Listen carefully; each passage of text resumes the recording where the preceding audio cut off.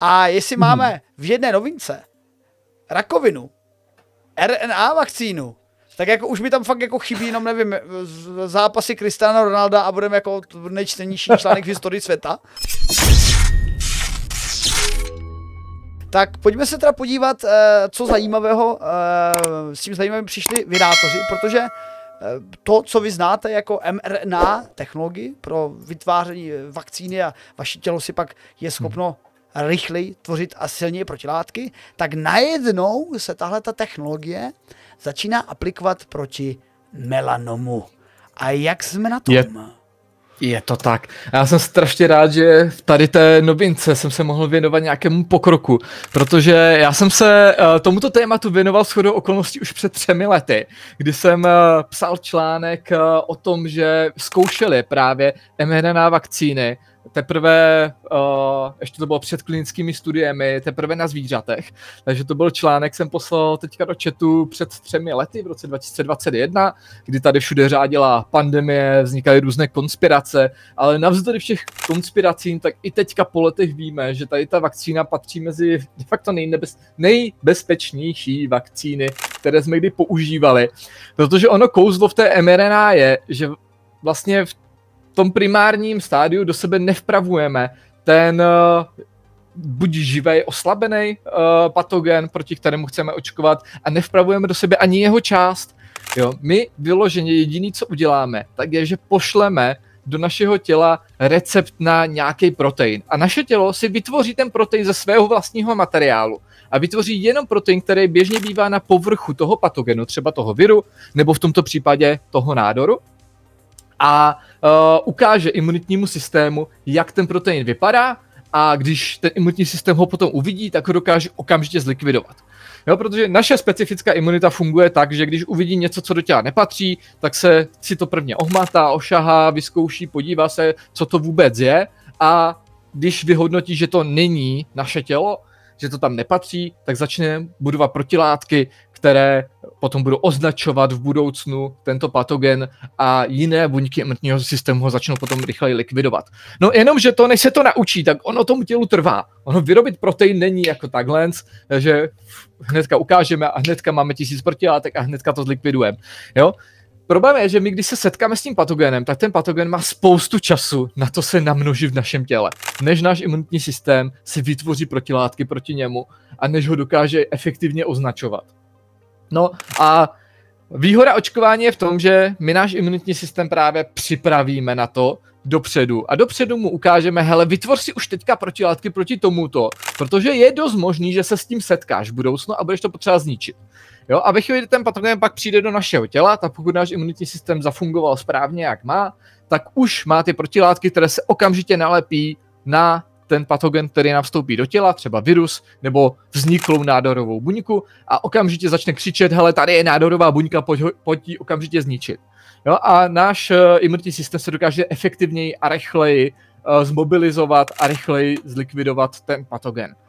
No a u uh, vakcín proti covidu nám to fungovalo poměrně úspěšně a tím, že tady ta vakcína nevyžaduje vlastně nic extra, jenom jediný, co potřebujeme, tak je zjistit část toho receptu uh, na nějakou povrchovou strukturu jakéhokoliv organismu nebo jakékoliv buňky, což my umíme zjistit úplně jednoduše. Dneska už uh, izolovat RN, RNA nebo DNA umí kde jaký student na vysoké škole vám to udělá během pár hodin. Já jsem toho důkazem, sám jsem na tom pracoval různou dobu. A Uh, není to nic složitýho, osekvenovat, na to už máme taky přístroje, uh, vyizolovat si nebo syntetizovat jakoukoliv část DNA už dneska zvládneme taky během v řádech hodin. Takže je to naprosto jednoduchý proces, relativně levný, který můžeme aplikovat. No a výhodou toho, uh, že to můžeme aplikovat i na nádory, je to, že nádové buňky, tak ty vznikají nějakými náhodnými mutacemi, že když se nám dělí buňky, což buňky kůže se nám obnovují jedny z nejrychleji vůbec, protože neustále jsou vystavovány vnějším vlivům, neustále jsou opotřebovávány a odumírají a potřebujeme je neustále tvořit, takže ta tkáň je velmi aktivní a opravdu rychle se regeneruje, takže tím pádem se tam rychle musí dělit buňky a tím pádem je větší šance, že vznikne nějaká nemilá mutace a může vzniknout právě ten melanom. Uh, když uh, vznikne melanom, tak on na ty nádové buňky na svém povrchu mají speciální proteiny, které zdravé buňky nemají. No a tady ta vakcína se právě zaměřila na to, že uh, hled, uh, vlastně představí našemu imunitnímu systému až nějakých 34 proteinů, které se vyskytují vyloženě jenom na těch nádorových buňkách toho melanomu. Takže už ukážeme si, jak to, jak to vypadá a ve chvíli, kdy u nás vznikne jenom nějaká lehká mutace a objeví se první nádorová buňka, tak náš imunitní systém už ví, aha, toto sem nepatří a začne to likvidovat. No, před těmi třemi lety to bylo teprve testováno na zvířatech, ale dneska po třech letech, tak už eh, jsme pokročili do fáze, uh, třetí fáze klinické studie, já bych jenom rychle schrnul ty fázy, že v první fázi testujeme bezpečnost toho léčiva, uh, takže to dáváme pár zdravým dobrovolníkům a testujeme, jestli jim to nic neudělá. To je první fáze, vlastně netestujeme efektivitu, ale jen bezpečnost podání. V druhé fázi už to uh, dáváme několika desítkám až stovkám pacientů uh, a uh, testujeme vlastně, jestli to má nějaký efekt vyloženě na ně. A ve třetí fázi už se to dává do uh, širšího spektra. Teďka se tady ta konkrétně se uh, testuje na tisíce uh, vlastně dobrovolníků, z nich, uh, nebo tisíce pacientů, kteří prodělali uh, na uh, melanom a byl jim chirurgicky odstraněn a testuje se, jestli potom očkování se jim potom vrátí nebo ne. A uh, tady ta třetí fáze tak je i takzvaně uh, dvojitě zaslepená, že vlastně ani ten pacient neví, ani ten lékař, který podává ten lék, tak vlastně netuší, uh, jestli mu podává lék, anebo, nebo mu podává vlastně jenom látku, která brzdí tu šanci návratu tohoto melanomu.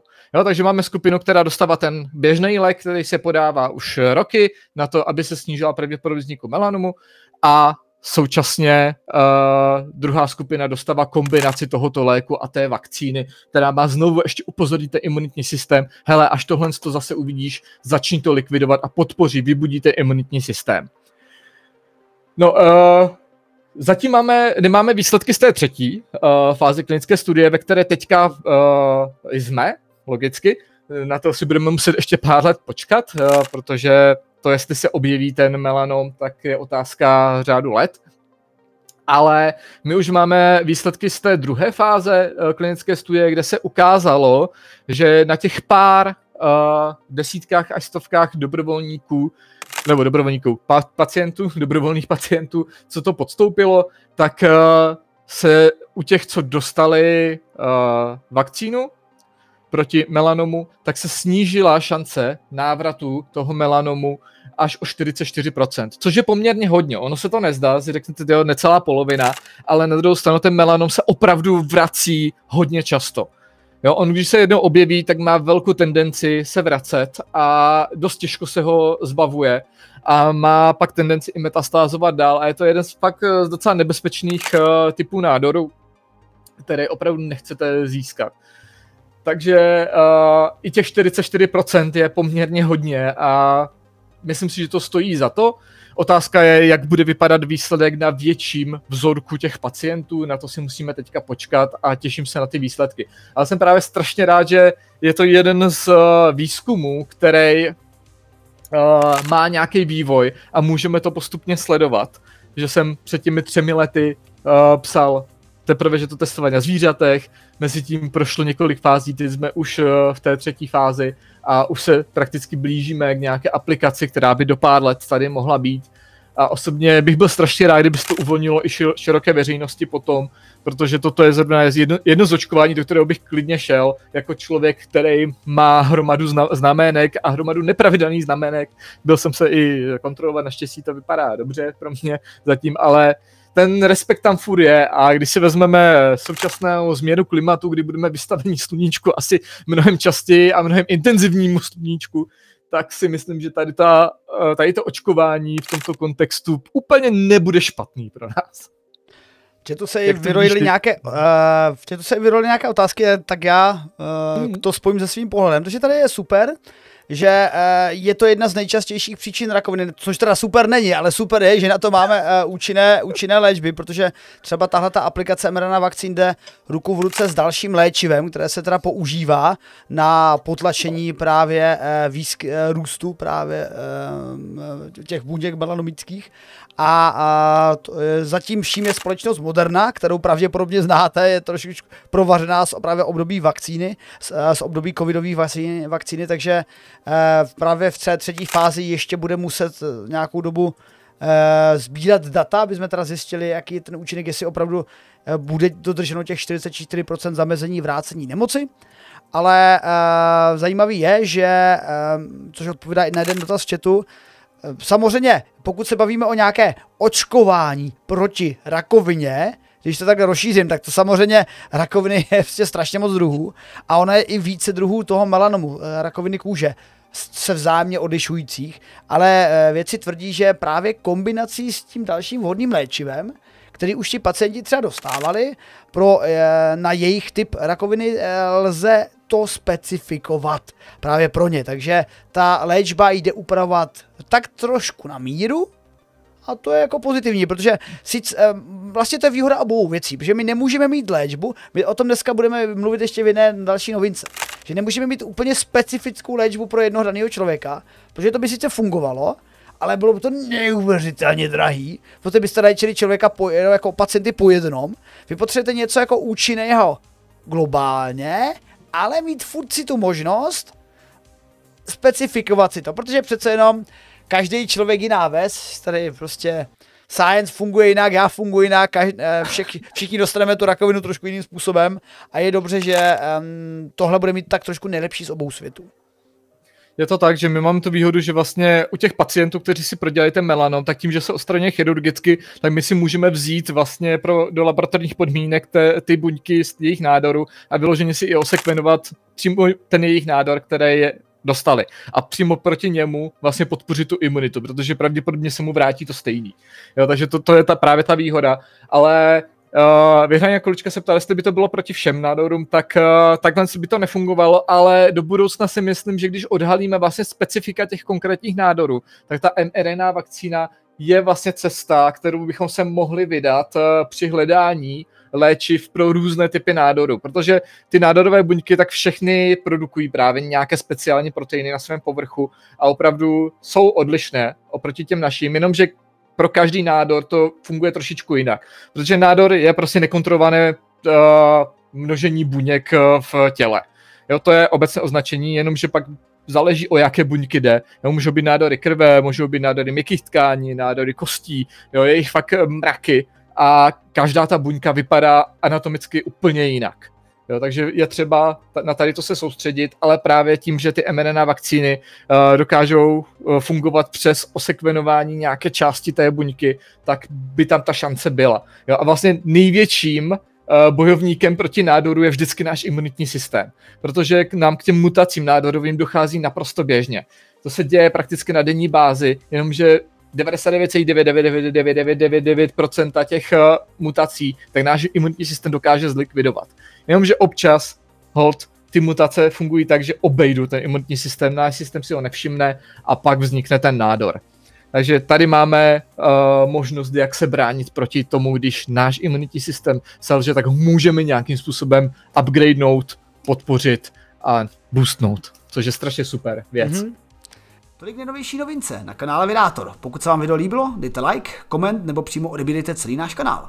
Pokud se vám něco nelíbilo, napište to do komentáře a minimálně nám zlepšíte dosahy a také třeba zlepšíte i to, jak v budoucnosti budeme dělat naše videa. To jsem řekl zbytečně složitě.